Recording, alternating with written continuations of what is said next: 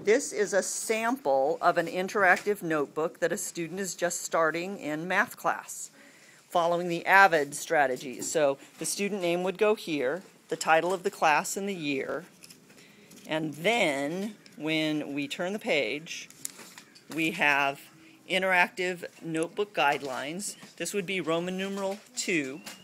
And then on page Roman numeral 3, we have the first table of contents with the assignment listings. And we've split it so that we have odd numbers on the left hand side and we have even numbers on the right hand side and there's space to write the assignments for each of those pages.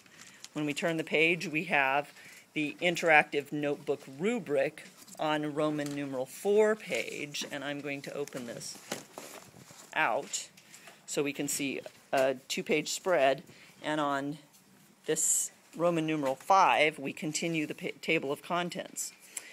After that page, students can start numbering the book in the corners.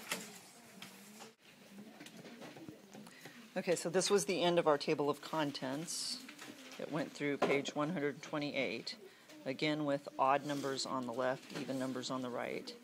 Then the students actually number. On the left-hand side is page 1, on the right-hand side is page 2, page 3, page 4. And then students will be putting their materials and taking notes and studying from these pages.